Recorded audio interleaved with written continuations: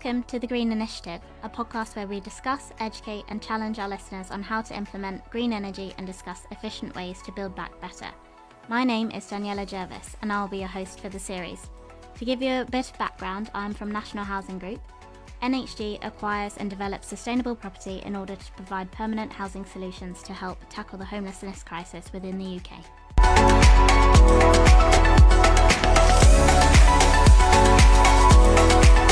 Welcome to the Green Initiative, a podcast where we discuss, educate, and challenge our listeners on how to implement green energy and discuss efficient ways to build back better. Today, I'm very excited to welcome our ge- first guest, uh, Paul Hutchens. He is a renewable energy specialist and CEO at Eco2Solar. Um, this episode, Paul and I will discuss solar panels. Uh, what they are, the benefits and challenges, how they work with environmental, social, and corporate governance. Paul, do you want to give us a bit of an introduction and background to yourself? Thanks, Danielle. I'm, I'm really excited to be here, and actually, I'm quite honoured and um, I'm really pleased that I'm, I'm your first guest. So, uh, so um, if you're a bit nervous, I am too, because um, I, have not done one of these for, for a long time. So, so uh, thank you for having me on the show. Uh, my name is Paul Hutchens. Um, I, am the founder and CEO of a company called Eco2Solar Limited. Um, I founded a company back in 2007, back in the times when solar and sustainability and those kind of things were probably not quite as well known as they are today. In fact, everybody thought I was a little bit mad.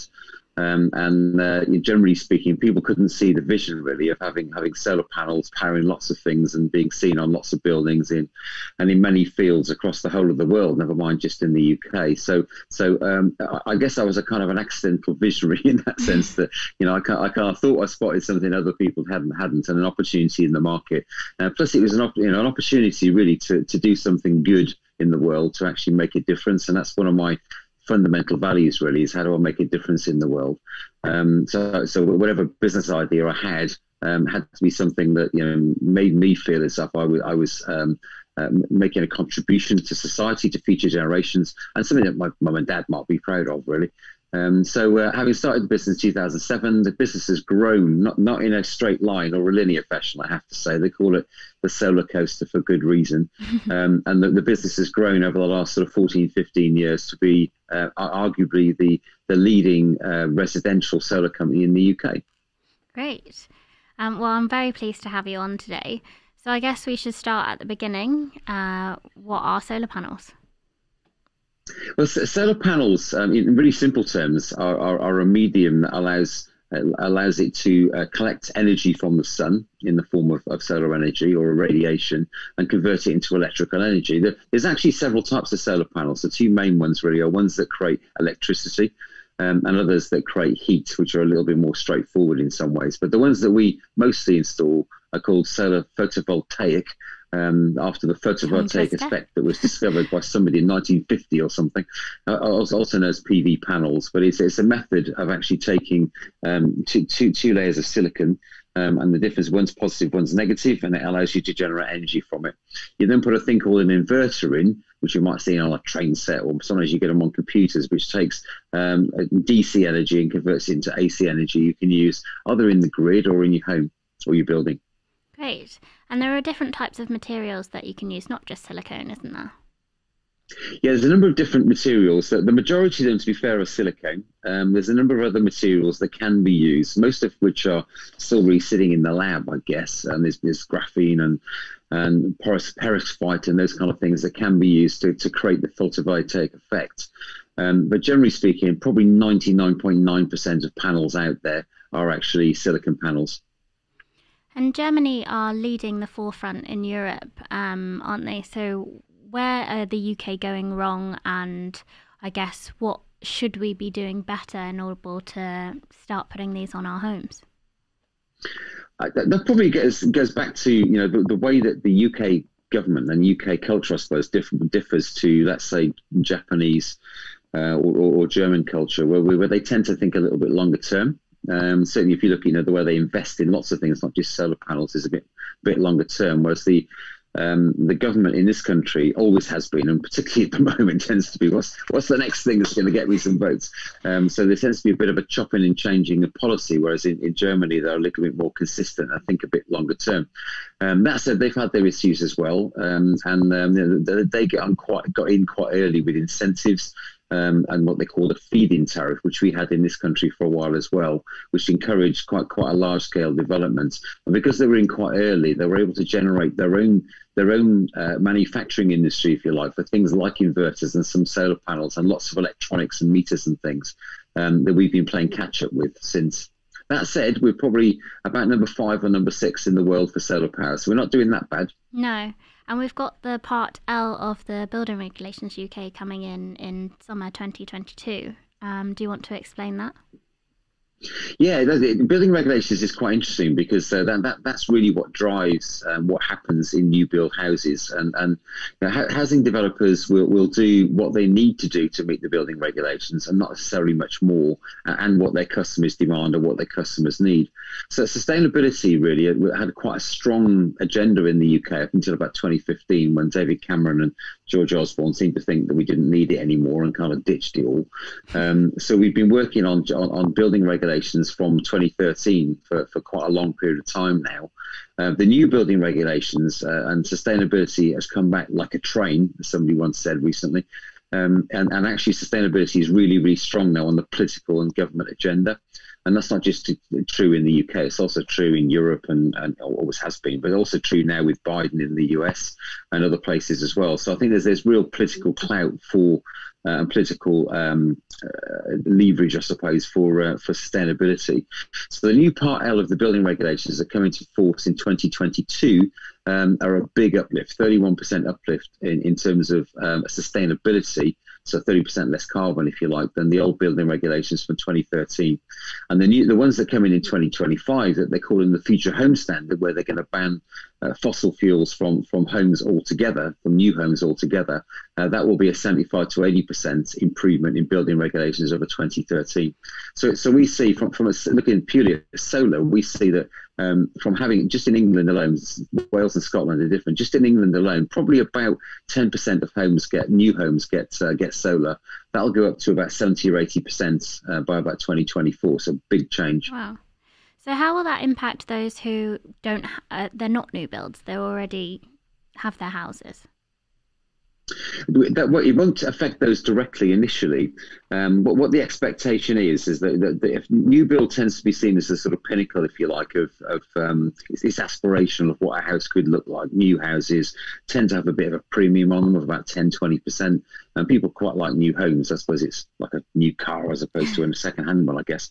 Um, so, so, so as a result of that, you know, you tend to find a new home has got the latest technology in it. So it will have a knock-on effect in terms of people will look at that aspiration and say, I'd like my home to be like that, that you know, brand new Barratt or Redrow home.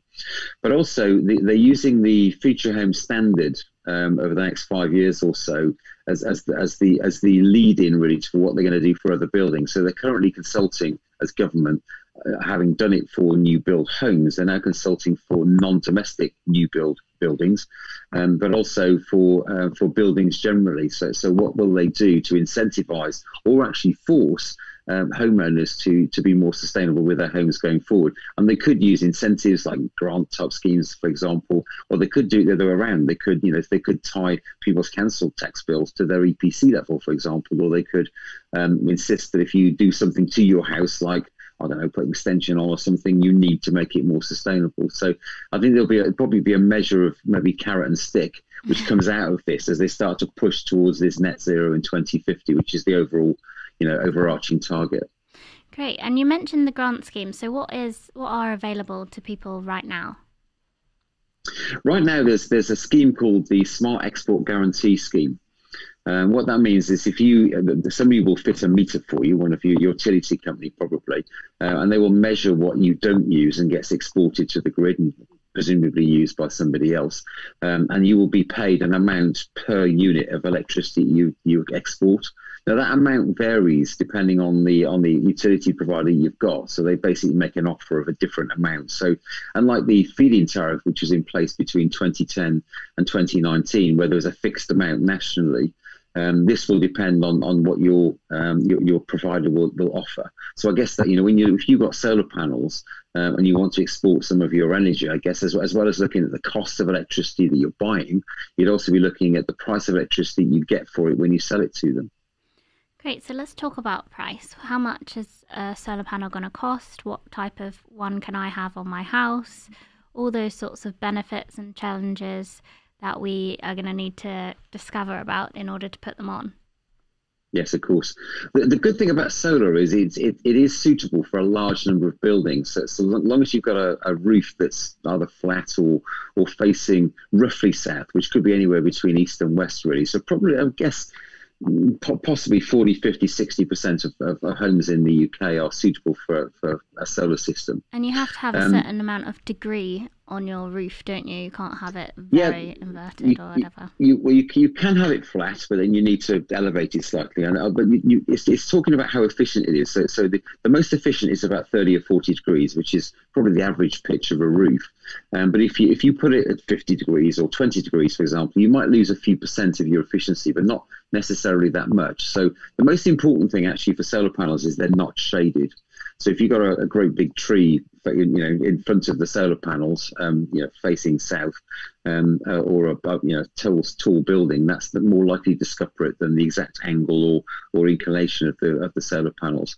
So so assuming your your your average building can have solar on it, the, the average size system will probably be about three kilowatts, I guess you could get onto a home, um, and the cost of that would probably be about three or four grand um, which which obviously is a chunk of money, but that's probably ten percent of what they would have cost twelve years ago. Because it's gone down because it's quite popular now, I guess. Yeah, economies of scale really kicked in. I mean, obviously, most most panels are, are made in the Far East now, um, at least, at least the, the silicon is anyway, which is a, a subject in itself. Uh, but the economies of scale are huge, you know, so so the the price reductions have been massive. So, say I have bought my property and I, it's my temporary, well, not temporary my home, but it's the one before I get for my permanent home. Am I going to break even? Is it going to really work out for me in the long term? Uh, well, I, would say yes, wouldn't I? Of course, um, uh, but I'm, I'm preaching to the converted, I guess. Um, the, the, the, the, payback on, on, on them is pretty good, actually. Um, I mean, obviously, you've got a, an immediate payback from an environmental perspective, in the sense that you're, you're doing your bit for the planet. I mean, you're also reducing your energy bills as well. Um, so, so if you how much uh, roughly and, and, can they uh, reduce by? Well, it depends on the size of the system. So, so you know, if you if you if you if, if you're putting a system in of say about four kilowatts, for example, um, three or four kilowatts, it might produce around about three thousand units of electricity a year. To, to, it, it, gets quite complicated because it depends. And some of you would need to survey the house and look at your energy uses because it depends on you know how, how much of that energy will you use directly. Um, how, how, much will you end up uh, sending back to the grid? Because there's an equation. Maybe you don't get quite as much for selling it to the grid through the smart export scheme as you do as it costs you to actually buy them. So, so but, but on average, if you're looking at a, a solar system on, on, on, a decent house, you'd be getting your money back between eight and 12 years. Um, and, the, and the, the, systems will last for 30 or 40 years. And also, if you look at that as a return on investment of somewhere between sort of you know 8 and 12 percent, it's a lot better than you get in the bank. Yeah.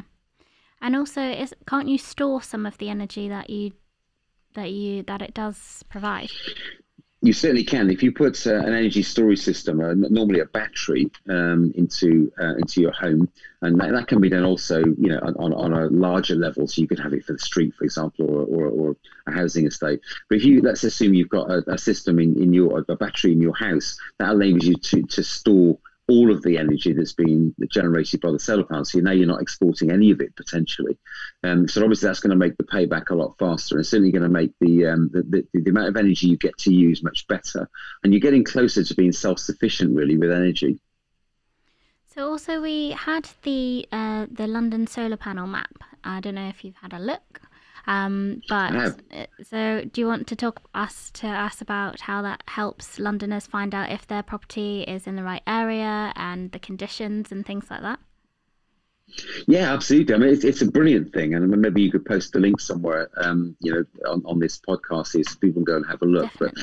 But um, the whole of London has been mapped right down to property level, so you can actually look at, at your property or, or, a building in, in London, and it will tell you um, to what extent your building is suitable for solar, down to exactly how much energy you're going to get per annum from it. So I guess that's a, that's an estimate going forward because obviously the weather varies year on year. Um, but but you know it, it, it's a really accurate assessment um, of a really granular assessment. So it actually goes down to individual roofs as to whether whether they're suitable uh, and even how suitable they are. So you could sort of say, well, that one's very suitable because I get so much energy. That one might be ten percent more or ten percent less. Uh, but it allows you to make a comparison as well. So I mean that that I mean I, I have no idea what it cost them to. Uh, to do that piece of work, but imagine you could do that for the whole of the country. That'd be fantastic. That'd be brilliant. And then also, I wondered if it would make any difference when they have this map available if our planning regulations and things like that, does it mean that it would be easier to get planning or do we still need to go for planning? Generally speaking, solar panels don't need planning. Okay. Um, they, they come under permitted development. So there are certain exceptions to that, like listed buildings, for example, where you do, um, and conservation areas and that kind of stuff. But generally speaking, they don't need planning. Great. So let's talk about the challenges then. So I know everyone's probably thinking the same thing. What about the weather in the UK? Um, obviously, when it's cloudy, although the sun the sun isn't directly on us, it's still shining and it's still available and giving us energy. But do you want to talk a bit mm. more about like the rain and all that sort of stuff? Yeah, sure. Um, the, the, I mean, the, there are um, relatives to this. So, so um, you know, do solar panels work really well in the UK? Yes, they do. You know, do they work better in sub-Saharan Africa? Yeah, probably they do. Um, and in terms of the amount of energy they generate, but if, the, way that we, we look at it is is that actually the, the, the, amount of energy they generate is calculated based on the area you're installing it. So whether if you're installing it in Spain, for example, or you're installing it in Scotland, um, we, we, can we, we can estimate quite accurately across the year how much energy you're going to generate. Now, obviously, we don't. There's difference between climate, if you like, and, and, and the irradiation levels across the whole year compared to what's going to happen on, on, on a day by day basis. So we can't tell you whether your solar panels are going to generate loads of energy on the know, the 14th of August, for example, they might generate a lot less because it's really cloudy and pouring with rain. But what we can say with, with some certainty is that over a period of the year, and certainly over a period of 10 years, how much they're going to generate. And we, we know we, we can get that down to quite a, quite a granular level. So we know that, you know, over Cornwall, for example, it might be slightly better than uh, Somerset, and Somerset might be slightly better than Birmingham. Um, but it, it is quite slight. You know, as you start to move north, the amount of difference is, is, is actually less than you'd think. Um, the other thing, of course, is, is that solar panels work at their best when it's cold. Um, yeah, this might sound counterintuitive, um, but so, so, so obviously the more the more irradiation there is, which basically is is you know is, is the is the uh, the energy that comes from the sun. The more of that there is, the more energy it produces. But the hotter it is, um, that, that, that, it actually uh, reduces the efficiency. So actually, if, if you if you can have a really really clear day in spring, um, solar panels work better than than, than a um, I don't know a mildly cloudy day in, in summer, for example, or you know fully uh, fully uh, cloudless day in summer because the heat is less. So, so, so if you, if you did, if you're, in, I don't know, if you're in the very far north, if you, if you do happen to get a very sunny day, they're more effective again because it's cooler. Okay. So there is a bit of an equation there. So, so, so if you're if you're having solar panels in the desert, for example, of, of you know the Sahara Desert, for example, um, you need to look at some way of cooling them probably because they're going to start to lose efficiency because of the amount of heat it creates. So then, when they're looking at obviously taking them from the Sahara and things like that, does that matter with the material that's using and things like that? So instead of silicone, is there not a better material for better weather and things like that, or is the silicone the best weather for the UK? Yeah, well, silicon is silicon is the best material overall at the moment because because it's ubiquitous, because it's available, and because it's it's reasonably priced. There's lots of other things out there, but they're very expensive. So if if you were going to look at um, putting banks of solar panels anywhere, really, it's in Spain, a farm in Wiltshire or, or sub-Saharan Africa, you know, you need a lot of them to actually make any difference and make it worthwhile transporting to somewhere else. So when you've got lots and lots of solar panels, obviously one of the big factors is how much they cost. So if you could get something that's you know 20% more effective but costs five times as much, it, it you know, it doesn't work. So, so in terms of economies of scale, for the moment, anyway, you know, uh, silicon's where it's at. How can we integrate the? A lot of people think that solar panels are ugly. How can we integrate them into the roof a bit more so they just look a bit more pleasant? Okay. Um, I, I, think we've all driven around um, around uh, streets and uh, housing estates and so on, seeing seeing some really quite ugly looking solar installations, bright blue panels sticking up out the roof. Maybe some of them, are, you know, some of them in landscape, some of them in portrait. They just really don't look very good. I think we've got a lot better at uh, at, at, installing those now. Um, and and certainly from our perspective, the majority that we would install will be uh, integrated into the roof. Um, so they'll be all black, integrated into the roof. So if you can see them at all, which you maybe you can't from a distance, um, if you can see them at all, they look like big Velux windows. So they're kind of neat. There's no no white or blue or anything. They're all black and they sit as flush with the roof. And So they look much much better. Um, you can also get solar tiles as well. They are more expensive and are probably a little bit less efficient actually as well. But you can get solar tiles, and particularly if you cover the whole roof in solar tiles, they, they do look pretty good. Do you need a flat roof for solar tiles, or can you no, just a normal roof. They just sit like a normal tile on a roof, and you can replace you know slates or tiles with these with those solar tiles. And you said um, that it just basically becomes more, the roof. You said sorry to interrupt you. You said that they're not as efficient. Why is that? Because of the the technology that they use, um, that they are because of the, the way that they're um, that they're constructed. Um, they are it's only about ten percent or something, but they're slightly less um, less effective. You, you get parts of them uh, that cover each other, for example, because of the way that you have to fit them, uh, and, and you lose a bit of them. So not um, and they're quite expensive too. Okay. Um, then let's talk about how we can incorporate all the solar energy into our household. Okay. Um, so, so the thing about solar is it produces electricity, or solar PV produces electricity, which is which is a really useful form of energy because we can use it for most things.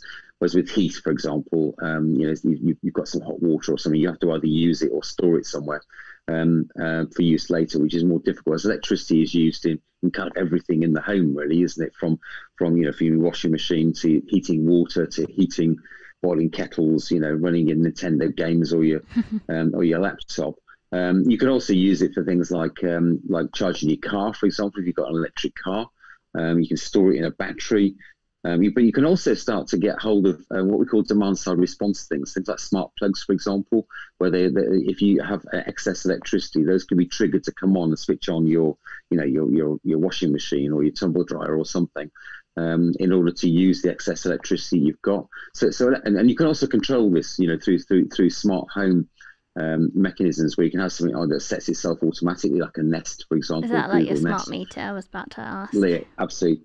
Yeah, like a smart meter, or, or, or even a smart um, a smart device, which will say, okay, we've got energy, what we're going to do with it, and it can learn your habits about, you know, when when do you have a shower, so it knows when to heat your water and that kind of thing. But it also knows when to when when there's going to be when there is or will be using the weather forecast when there will be excess solar energy, and then, therefore you know switch things on and off. Um, and you can control these things on a smartphone as well, of course, which is really great these days. And Nest isn't the only provider that does things like that. Do you know any others so that people can research a couple?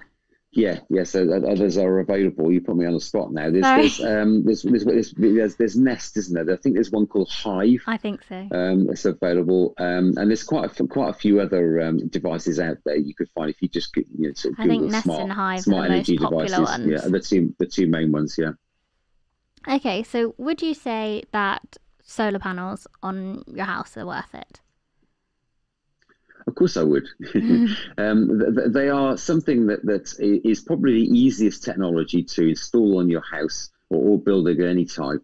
Um, it's one of the most cost effective, certainly, to do that. But also, they're, really, really fit and forget. So if you put solar panels on your house, um, they will last for 30, 40 years, and you should get no problems with them. Whereas other forms of technologies, like you know, like wind turbines and heat pumps and other things, are great technologies, but there's lots of moving parts, and, and they, they can be a bit more troublesome. Uh, so, so, solar PV is, is really cost effective. It's easy to install. There's loads of people out there that do install it um, and, it, and it lasts for a long time with very little problems. Um, and in terms of the the, the amount of um, benefit you get financially, it's also worth doing as well as well as obviously the environmental benefits. Of course. And then obviously looking at climate crisis and things like that, how do you think solar panels will influence buyers' decisions on homes that already have them on or when you're thinking about putting them on your home, how it will influence that? I, I think that's going to grow massively. I mean, when I when I first started doing this, there were there were uh, less than 10,000 buildings in the UK with, with solar PV on them. Now there's more like, you know, 1.2, 1.3 million of them. So, you know, it's still, it's still a minority of homes, but now, you know, it's, it's a decent chunk.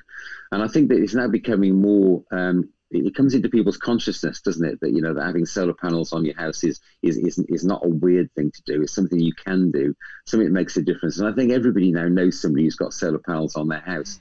I also think that there's um, you know, there's maybe a, a, a, um, a, generational thing here as well as as that. I think that it tends to be the case that younger people care more about the environment maybe than uh, than and more more aware, should we say, of these things than some of the uh, you know sort of middle and older generations. And I think as they become you know the, the, the predominant homeowners, they're going to want to do more about it.